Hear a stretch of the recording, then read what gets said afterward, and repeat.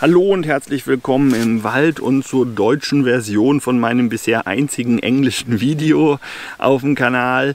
Ähm, ich hoffe, das Englische hat euch jetzt nicht so sehr schockiert, dass ihr die deutsche Version nicht gucken könnt. Hintergrund dazu ist einfach, dass der Felix, mit dem ich hier ja ein bisschen zusammenschaffe, ähm, also Felix Immler aus der Schweiz, ne, der Mann mit dem Taschenmesser, aber den kennt ihr, ja, den kennt ihr wahrscheinlich eher, als ihr mich kennt, ähm, der macht ja seine Videos auf Englisch. Daher ist es natürlich schön, wenn er, wenn er dann zu mir weit, mich weiterempfiehlt quasi, dann auch ein, ich ein Video habe, was seine Leute dann auch verstehen, sprich auch auf Englisch, zumindest halbwegs verstehen, so hoffe ich. Ne? Und das ist der Hintergrund, weshalb ich jetzt auch mal ein englisches Video gemacht habe. Wollte ich sowieso immer mal irgendwie ausprobieren. Äh, das kann garantiert noch viel besser, weil ich bin ja wirklich nicht besonders gut in Englisch, ähm, wie spätestens jetzt bewiesen sein dürfte ja, ich hoffe, es ist noch einigermaßen okay und es ist ja auch nicht sehr lang und dann kann man sich das, glaube ich, antun. Ja, aber gut, das zum Hintergrund. Äh, das hier ist wie gesagt die deutsche Version, die ist ein bisschen länger als die englische Version, auch ein bisschen ausführlicher, weil es halt einfach ist, das ganzen Krempel auf Deutsch zu erklären. Zum Hintergrund nochmal kurz. Ähm, der Felix äh, hat diverse beim Anzünden von ganz oft Birkenrinde irgendwann mal wohl die Idee gehabt, äh, aber das erklärt er in seinem Video auch. Link findet ihr unten, ja ganz, ganz wichtig. Unbedingt das Original auch angucken. Ähm, hat er die Idee gehabt, dass es wohl doch noch andere Bäume geben muss, die das gleiche Problem wie die Birke haben und das Problem auf ähnliche Art und Weise lösen, nämlich irgendwas in die Rinde einlagern, was da offensichtlich gut brennt. Was nicht beabsichtigt ist, dass das Zeug gut brennt, ist für die Birke kein Vorteil, das man gleich vorneweg.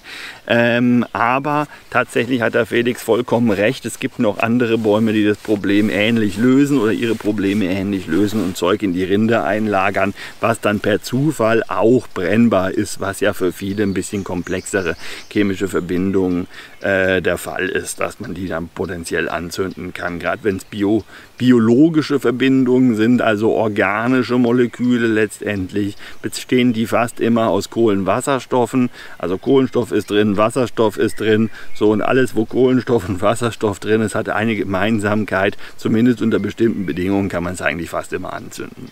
So, und das heißt, wer viele dieser Moleküle in seine Rinde einlagert, der hat vermutlich eine brennbare Rinde. So dass das die Birke macht, das wissen wir jetzt alle schon seit Jahrzehnten. Das ist überhaupt nichts Neues und damit holst du niemanden hinterm Ofen hervor. Dass das auch die Kirsche kann, kann man wissen, wenn man viele Survival-Bücher gelesen hat, gerade die aus dem angloamerikanischen Bereich, äh, Raum, äh, die erwähnen das häufig, weil sie da recht viel Kirsche in der Pampa rumstehen haben.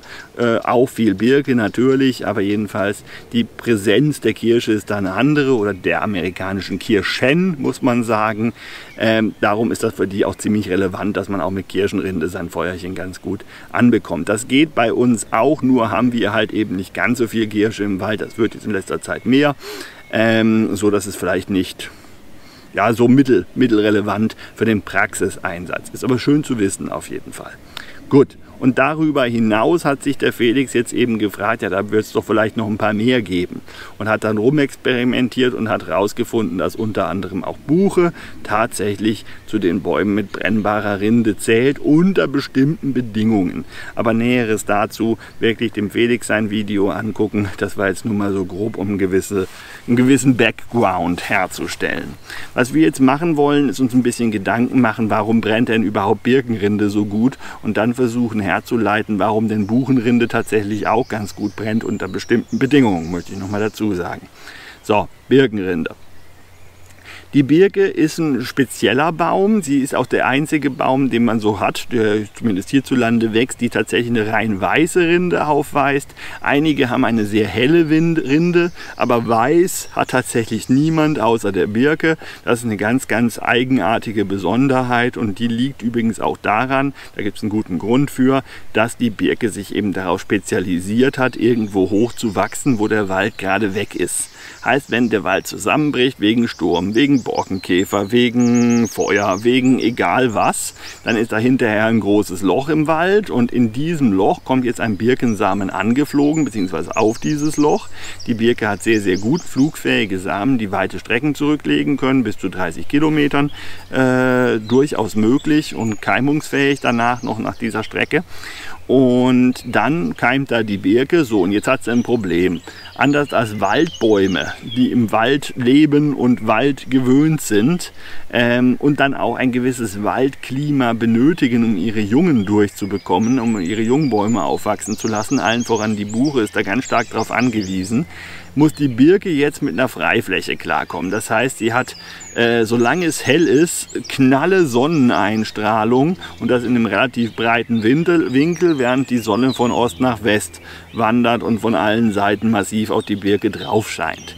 Da sie noch ein kleiner Baum ist, hat sie auch keine Möglichkeit, sich mit der eigenen Krone, die ja gerne Sonne haben soll, ja jeder Baum mag gerne Sonne, weil er macht ja Photosynthese, in der Krone wohlgemerkt, nicht im Stamm, äh, ja, äh, daher ist die Krone bei so einem kleinen Baum eben noch zu klein, um den Stamm abzuschatten. So, und jetzt lass dir was einfallen. Da gibt es verschiedene Möglichkeiten. Entweder machst du eine ganz, ganz dicke Borke, die dann UV-Strahlung abbekommt. Die äußerste Schicht der Borke wird von der UV-Strahlung gekillt, aber da die Borke so dick ist, kommt da immer unten noch neues Material hinterher und da kriegt die UV-Strahlung die Borke einfach nicht kaputt.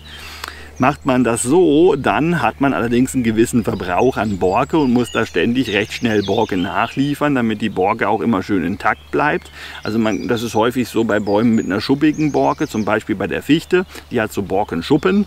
Die schmeißt sie dann außen hin und wieder mal ab, wenn sie alt geworden sind. Wenn der Baum dicker wird, sprengt er sozusagen seine Schuppen. Ist ein bisschen wie ein sich häutendes Reptil. Kann man sich ungefähr so vorstellen. Die Schuppen fliegen runter und von innen werden nach und nach neue Schuppen Schuppen rausgedrückt, die dann die alten Schuppen auch abspringen lassen. Und dann wird unten drunter eine etwas jüngere, neuere Schuppe sichtbar. Und wenn die abfliegt, wird die nächste, noch jüngere Schuppe sichtbar. Und wenn die abfliegt, wird nochmal eine jüngere noch, äh, Schuppe unten drunter sichtbar. Und irgendwann sind die Schuppen alle, weil es zu schnell gegangen ist. Oder sofern es langsam genug geht, kommt immer wieder eine neue Schicht sogar Schuppen unten drunter hinterher. Ja? Vorteil, die äußeren Schuppen, die können ruhig kaputt gehen. Die bestehen aus einem toten, korkartigen Material. Bei der Eiche sogar wirklich aus Kork. Bei anderen Bäumen aus sowas ähnlichem wie Kork. Ähm, und sind dadurch, dass sie tot sind, automatisch UV-resistent. Weil was macht UV-Strahlung? Die killt lebendes Gewebe. Ja, und was ist dann der Vorteil, wenn man totes Gewebe hat? Töter als tot kann das nicht werden. Und das ist der große Trick, weshalb eben solche Bäume kein großes Problem mit intensiver Sonneneinstrahlung Sonneneinstrahlung auf den Stamm haben. Da kann kein, UV, äh, kein Sonnenbrand letztendlich, das nennt man dann auch wirklich bei Bäumen auch Sonnenbrand, wenn sie damit dann doch ein Problem haben, kann das nicht entstehen. Ja?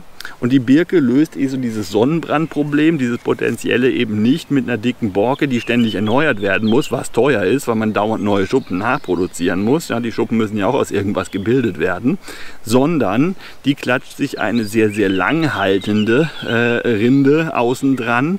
Und jetzt muss man auch den Begriff Rinde und Borke mal ein bisschen differenzieren. So ganz grob können wir sagen, eine Borke ist sowas Schuppiges mit totem Material und eine Rinde ist meistens ein lebendes Material, das über einen langen Zeitraum am Leben erhalten wird und sich nach und nach erneuert.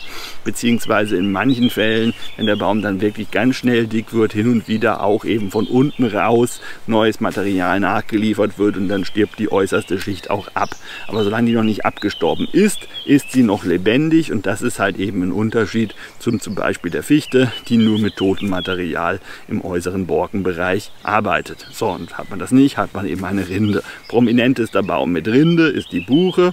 Und die Buche hat, behält sogar ihre Rinde ihr Leben lang. Das heißt, die stirbt nie ab und wird nie erneuert, sondern es ist immer dieselbe. Die wird die kann auch mitwachsen, dadurch, dass sie ständig am Leben ist, muss sie auch nicht einreißen, wenn der Baum zu dick wird und der Gürtel gesprengt wird sozusagen, sondern wächst einfach mit und funktioniert ein bisschen, also über 7000 Millionen Ecken kann man sich das vielleicht so assoziieren wie unsere Haut, die ja auch durchaus ziemlich dehnfähig ist, wie jeder weiß, der Corona größtenteils auf dem Sofa verbracht hat. Ne? Gut, äh, also die Corona-Lockdown-Phase, äh, nicht unbedingt die Krankheit. an sich. Gut, ähm, jetzt hat. Diese Buchenrinde, dadurch, dass die ihr Leben lang lebendig bleibt, äh, hat jetzt das Problem, dass wenn da die Sonne volle Kanne draufknallt, dann ist das lebendes Gewebe und lebendes Gewebe kann eben sehr wohl tot gehen. Und das führt dazu, dass eine Buche, die wirklich massiv Sonne auf den Stamm bekommt, äh, einen Sonnenbrand kriegt und im schlimmsten Fall färbt sich die Borke dann schwarz, fällt ab und ist tot und damit auch der Baum, weil wenn dem die Hälfte seiner Borke, weil er ungefähr auf der Hälfte des Stamms Sonne abbekommt, wenn Sonne da ist, äh, fehlt, dann keine Chance mehr. Das überlebt eine Buche nicht. So, die Buche steht aber normalerweise im Schatten, also kein Problem. So, jetzt kommt unsere Birke und stellt sich mitten auf die Freifläche, hat nirgendwo irgendwie Schatten, kriegt volle Kanne äh, Licht ab und hat sich daher überlegt, ja, dann mache ich mich doch einfach weiß, dann reflektiere ich 90 Prozent vom Licht, was da so einkommt, ankommt, teilweise auch 95%, Prozent, je nachdem, wen man fragt und wo man misst und unter welchen Bedingungen und habe dann auch kein Problem mit UV-Strahlung. So, und wie mache ich mich weiß? Da muss ich irgendeinen weißen Farbstoff in die Birke, äh, in die Rinde einlagern. So, und was nehme ich da? Na, vermutlich irgendwas, was ich in großen Mengen recht einfach produzieren kann. Und was hat sie zu dem Zweck erfunden? Oder was hat die Natur zu dem Zweck erfunden? Betulin. Benannt nach Betula pendula, unserer Hängebirke, beziehungsweise der am weitesten verbreiteten European Beach, Birch, ach, was weiß ich. Beach ist ja Buche. Ja, mit den Eng ne? Ich habe eben versucht, den ganzen Quatsch auf Englisch aufzunehmen, aber Baumnamen auf Englisch. Krampf. Warum haben die denn so furchtbare Namen? Liebe Engländer, lasst euch doch mal vernünftige Baumnamen einfallen. So, äh, jedenfalls die europäische Birke, so wie der Engländer sie nennen würde, das ist halt eben die, nach der dieser Stoff benannt ist. So, und jetzt Betulin ist weiß, ja, das ist schon mal eine wichtige Eigenschaft. Und woraus besteht das jetzt? 30 Kohlenstoffern, 50 Wasserstoffern und 2 Sauerstoffern. Was davon ist selten, was davon ist teuer? Gar nichts. Ja, weil Wasserspalten tut man im Laufe der Photosynthese sowieso, wenn man eine Pflanze ist. Das heißt, man hat sowohl Wasserstoff als auch Sauerstoff problemlos zur Verfügung. Und wo kriegst du Kohlenstoff her? Ja, auch ein Photosyntheseprodukt. Ja, Kohlenstoff nehmen, CO2 nehmen sie ja sowieso über die Blätter auf, um überhaupt Photosynthese machen zu können. Und äh, ja, in Kombi mit der Tatsache, dass das dann also insgesamt universell überall verfügbar ist, lässt sich für so eine Birke Bedulin sehr, sehr einfach in großen Mengen bilden und das macht sie auch in vergleichsweise großen Mengen, bis sie eben eine komplett weiße Birke hat. So, Jetzt ist also Betulin ein klassischer Kohlenwasserstoff, genau genommen ein Triterpen, ein pentazyklisches Triterpen, furchtbares Wort auf Englisch noch schlimmer. Ähm, und zeichnet sich dadurch aus, dass es diverse Ringe hat, genau genommen fünf bis sechs, irgendwie sowas. Und hat als solches einen Haufen Kohlenstoffe, die da hintereinander hängen in Ringform. Und wenn du das jetzt anzündest, dann wird dann nach und nach ein Kohlenstoff abgespalten, noch ein Kohlenstoff abgespalten und noch ein Kohlenstoff abgespalten. Und das passiert so lange und jedes Mal, wenn einer abgespalten wird, wird Energie in Form von Hitze frei, dass das eine ganze Weile brennt, so ein Betulin. Ja? Darum, nicht weil die Birke unbedingt gerne super brennbar sein möchte von der Rinde her, sondern weil das halt nun mal ein unerwünschter Nebeneffekt ist, ist Betulin durchaus sehr, sehr gut brennbar. Andere äh, Kohlenwasserstoffe sind genauso brennbar äh, und Betulin ist auch nicht viel besser brennbar als andere ähnlich große Kohlenwasserstoffmoleküle, äh, hat nichts, was jetzt besonders die Brennbarkeit befördern würde, außer eben die Tatsache, dass in Birkenrinde wirklich viel Betulin drin ist. Und weil Betulin ein verdammt großes Molekül ist mit 30 Kohlenstoffatomen und dazugehörigen Wasserstoff, ähm, ist es viel zu groß, um in Wasser gelöst werden zu können, beziehungsweise Wasser kann da auch nicht durchdringen, wenn du eine Schicht Betulin auf der Rinde hast. Das macht das Zeug auch wasserdicht. Und das heißt, Birkenrinde brennt auch nass. Also heißt es zumindest für uns jetzt als äh, Anwender im, im, im Waldbereich. So, Triterpene sowie Betulin sind durchaus nicht selten im Pflanzenbereich. Die gibt es in jede Menge Pflanzen und haben verschiedenste Funktionen, meistens tatsächlich irgendeine Feindabwehr, irgendeine antibakterielle oder antivirale Funktion. Das kann Betulin übrigens auch antibakteriell oder antiviral sein, sofern du das Betulin auch direkt zu der entsprechenden Bakterie und zu dem entsprechenden Virus hinbekommst. Das ist ein größeres Problem. Darum reicht es auch nicht, Birkenrinde zu fressen, dann bist du alle Bakterien los, sondern das müsste dann ja, ja auch direkt hinkommen. Heißt, du hast ein, äh, ein Hirnbakterium und frisst Birkenrinde, dann landet die trotzdem nur im Magen und nicht im Hirn. Beziehungsweise der Körper weiß dann nicht zwingend, wo er jetzt die Betulin-Inhaltsstoffe, äh, dass er die jetzt ins Hirn transportieren sollte vom Magen aus. Drum ist das nicht ganz so trivial. Zwar hat es diese Eigenschaften, wirkt aber nicht unbedingt zwingend, zum Beispiel eben durch Verzehr, dann auch wirklich entsprechend. So, äh, jetzt. Was wollte ich jetzt sagen? Genau. Also Betulin ist ein Stoff zum Erhalt der Rinde, zur Abwehr von allem Möglichen und so weiter und so fort. Da es ein Triterpen ist und alle Triterpene per se erstmal prinzipiell brennbar sind, könnten wir jetzt auf die Idee kommen, nach anderen Bäumen zu suchen, die auch Triterpene in größerer Menge in ihrer Rinde einlagern und schwuppdiwupp haben wir vielleicht ein paar Rinden gefunden, die auch noch brennbar sein könnten. Hm, wenn man jetzt so jemanden kennen würde, der in der Schweiz gerne Rinden anzündet und das ausprobiert, hm, ne? Aber ja, hat er ja schon gemacht. Das entsprechende Video sollte ja auch schon online sein. Äh, zu den anderen Rinden mache ich auch noch was, aber jetzt geht es erstmal um die Buchenrinde und im Vergleich mit der Birkenrinde und dann kommen wir nämlich auch zur Buchenrinde. Hat die verschiedene Triterpene in ihrer Rinde? Ja, mit Sicherheit. Hat sie davon so viele, dass die Rinde deswegen super brennbar ist? Nee, das hat sie jetzt wiederum nicht. Insbesondere nicht die dicke Rinde, die wir am Stamm finden können.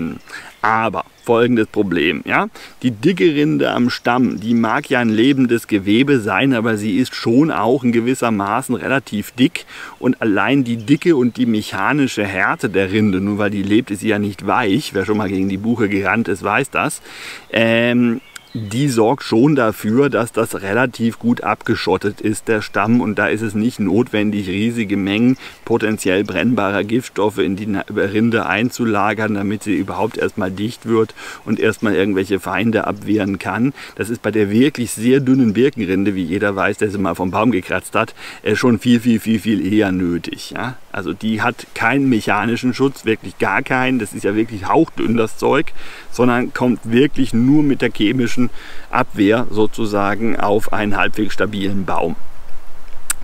Das heißt, wenn wir irgendeine Birkenrinde haben, äh Quatsch, eine Buchenrinde haben wollen, die möglicherweise brennbar sein könnte, dann muss es eine ganz, ganz dünne Schicht von Buchenrinde sein, bei der es noch notwendig ist, aufgrund der fehlenden mechanischen Stabilität eher auf chemische Stabilität, sozusagen auf Giftstoffe in der Rinde zu setzen, um eine Abwehr gegen Fressfeinde zu haben. So, und wo finden wir jetzt Rinde, die mechanisch anfällig ist an der Buche, ja, am ganz dünnen Zweig. Weil ein sehr, sehr dünner Zweig kann noch keine super dicke Rinde haben.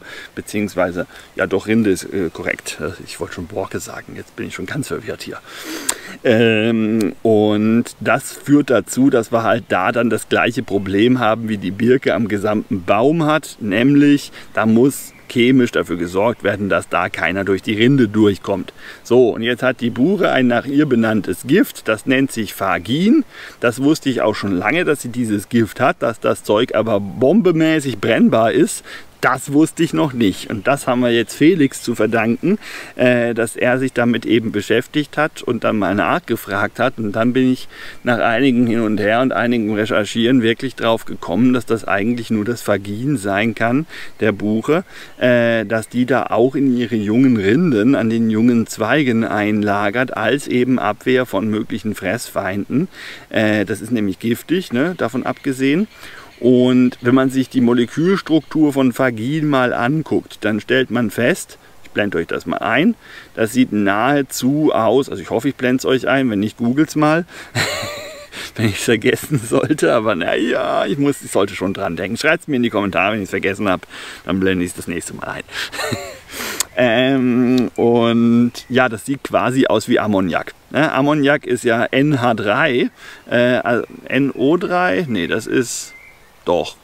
Ja, äh, äh, jedenfalls ist Fagin fast genauso aufgebaut, ähm, nur halt eben noch jeweils mit dem Kohlenstoff vor den Haars sozusagen und hat eine ganz ähnliche Molekülstruktur und als solches hat es auch recht ähnliche chemische Eigenschaften, ist ab 2,9 Grad glaube ich gasförmig unterwegs, das ist übrigens noch interessant und äh, wenn du es als Gas tatsächlich schaffst, in größerer Menge zu sammeln, was schon geht, insbesondere bei Fäulnisprozessen von Buchenholz zum Beispiel.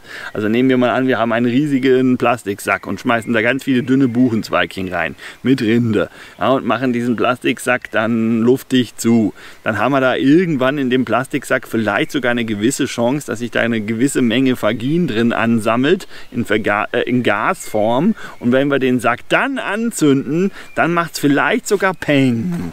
Ja, weil das Zeug ist sogar explosiv als Gas. Äh, allerdings die Mengen, die da bei Buchenrinde drinstecken, sollten eigentlich kein großes Problem sein.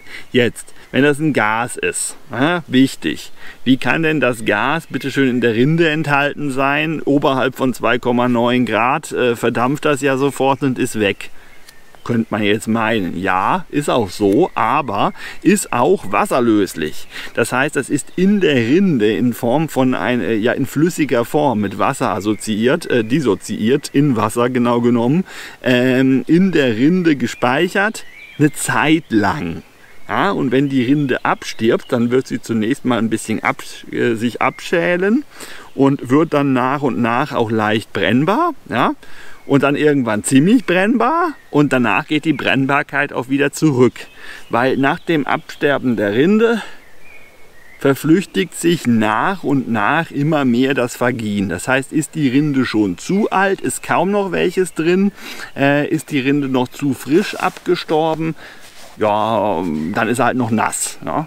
Grundsätzlich brennt Fagin, äh, also Fagin gesättigtes Wasser, sage ich jetzt mal. Das brennt auch, äh, solange es noch Wasser in Anführungszeichen ist.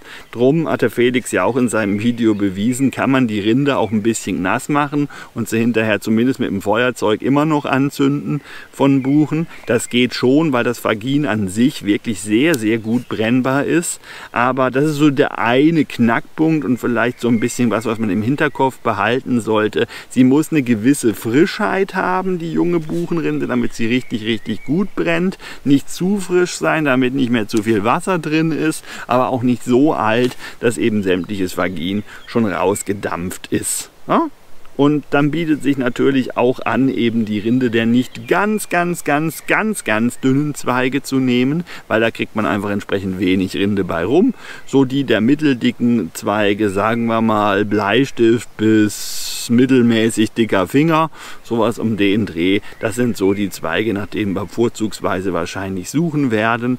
Aber praktische Erfahrung dazu, was am besten brennt, kann ja jeder auch selber gerne für sich sammeln und einfach mal ein bisschen rumexperimentieren. Das empfiehlt auch Felix. Felix, äh, der hat es ja genauso gemacht, dass man da einfach wirklich selber mal ein bisschen am Experimentieren ist. Aber so vom wissenschaftlichen Hintergrund her ist es wirklich die Rinde zwischen noch zu nass und zwischen zu lange trocken, die wir brauchen und die dünn genug ist, dass der Baum da überhaupt nennenswert Vagin eingelagert hat, weil sie keinen mechanischen Schutz besitzt. So, so, und jetzt, Adle, lauschen wir bitte noch andächtig meiner munteren Checkliste. Verbrennbare Rinden. Achtung, die Liste ist munter. Das bedeutet, die ersten vier Punkte sind völliger Quatsch, die könnt ihr ignorieren. An, äh, nach dem Absatz geht's dann mit dem sinnvollen Zeug los. Nämlich, erstmal eine dicke Rinde, die gut brennt. Ich kenne keine einzige, sei denn man liegt sie vorher in Harz ein oder solche Späße. Aber normalerweise sollten die eigentlich alle unbrennbar sein wenn in dünnen Rinden nichts besonders Brennbares drin ist, dann kann man sie trotzdem anzünden, einfach weil sie eine super dünne Rinde ist und Pflanzenbiomasse grundsätzlich brennbar ist. Das darf man auch nicht vergessen. Das heißt, Ihr habt nicht unbedingt eine besonders gut brennbare Rinde gefunden, nur weil ihr es geschafft hat, ein dünnes Stück Rinde anzuzünden. Das funktioniert bei so ziemlich jeder, wie gesagt, pflanzlichen Biomasse, solange die nur dünn genug ist. Das ist auch der Grund, weshalb man sein Lagerfeuer ja auch zuerst dünne Stöckchen reinschmeißt und dann erst später die dicken. Je dünner eine Schicht von brennbarem Material, desto einfacher ist es zu entzünden. Sprich, ein Blatt Papier ist deswegen toll brennbar, weil es halt super dünn ist, nicht unbedingt nur deswegen, weil es halt aus Holz ist. So. Ähm, viele brennbare Rinden sind sehr mühsam zu sammeln. Das kann man ganz wunderbar nochmal beim Felix sehen. Der muss ja da teilweise mit einem Taschenmesserchen erstmal die äußerste Schicht freilegen und Bast und Cambium entfernen, um da überhaupt nennenswert äh, eine dünne brennbare Schicht hinzubekommen. Das heißt, diesen Aufwand zu betreiben, um damit ein ganzes Feuer anzubekommen und das gegebenenfalls sogar mehrfach, das ist vielleicht ein bisschen schwierig. So, und äh, gut geeignet sind vor allen Dingen auch Bäume, deren Rinde mit der Zeit aufspringt und sich aufrollt. Das habt ihr garantiert schon mal gesehen an einer Kirsche, das habt ihr garantiert auch schon mal gesehen an einer Birke. Je nachdem, was das für eine Birke ist, kann man ja die Rinde da ganz bequem abziehen, weil sie ja wirklich schon seitlich aufgesprungen ist und dann kreisrund um den Baum abgezogen werden kann. Natürlich nur bei toten Bäumen. Ne? Ähm, oder umgefallenen, gerade frisch gefällten Bäumen. Die sind zwar streng genommen noch nicht tot, aber werden es in Kürze sein. Das heißt, auch da kann man sich selbstverständlich bedienen. Ähm, außerdem gibt es das bei vielen dornigen Sträuchern. Das sind auch meistens Kirschen bzw. Rosenverwandte. Aber merkt euch einfach dornigen Strauch. Äh, dann die Birke sowieso. Ne, das ist ja nichts Besonderes. Das gilt übrigens auch für andere Birken, wie zum Beispiel die Japan-Birke oder irgendwelche sonstigen exotischen Birken irgendwo woanders auf dem Planeten.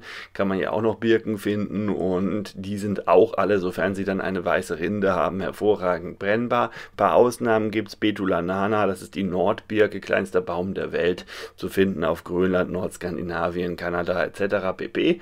Und äh, die brennt nicht. Ja, die ist eine Ausnahme.